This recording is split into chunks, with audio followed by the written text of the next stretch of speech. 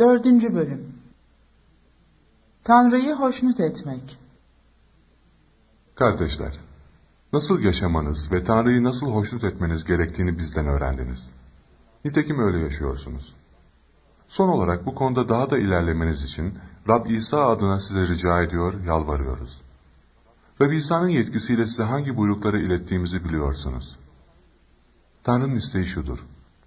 Kutsal olmanız, cinsel ahlaksızlıktan kaçınmanız, her birinizin Tanrı'yı tanımayan uluslar gibi şehvet tutkusuyla değil, kutsallık ve saygınlık içinde kendine bir eş alması ve bu konuda haksızlık edip kardeşini aldatmamasıdır.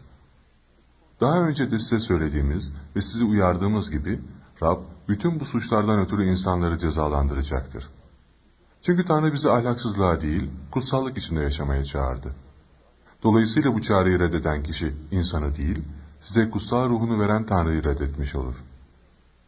Kardeşlik sevgisi konusunda kimsenin size bir şey yazmasına gerek yoktur. Çünkü Tanrı size birbirinizi sevmeyi öğretti. Aslında tüm Makedonya'daki kardeşlerin hepsini seviyorsunuz. Kardeşler, size rica ediyoruz. Bu konuda daha da ilerleyin. Size buyurduğumuz gibi sakin bir yaşam sürmeyi, kendi işinize bakmayı ve ellerinizle çalışmayı amaç edinin. Böylelikle kimseye muhtaç kalmaksızın diğer insanların önünde saygın bir yaşam sürersiniz. İsa'nın tekrar gelişi Kardeşler, umutsuzluk içinde yaşayan diğer insanlar gibi kederlenmemeniz için, gözlerini yaşama kapamış olanlar konusunda bilgisiz kalmanızı istemiyoruz. İsa'nın ölüp dirildiğine inanıyoruz. Aynı şekilde Tanrı, İsa'ya bağlı olarak gözlerini yaşama kapamış olanları da onunla birlikte geri getirecektir. Rabbin sözüne dayanarak size şunu bildiriyoruz.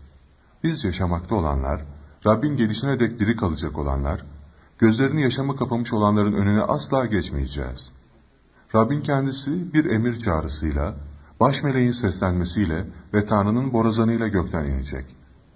Önce Mesih'e ait ölüler dirilecek. Ondan sonra biz yaşamakta olanlar, diri kalmış olanlar, onlarla birlikte Rabbi havada karşılamak üzere bulutlar içinde alınıp götürüleceğiz. Böylece sonsuza dek Rab'le birlikte olacağız. İşte birbirinizi bu sözlerle teselli edin.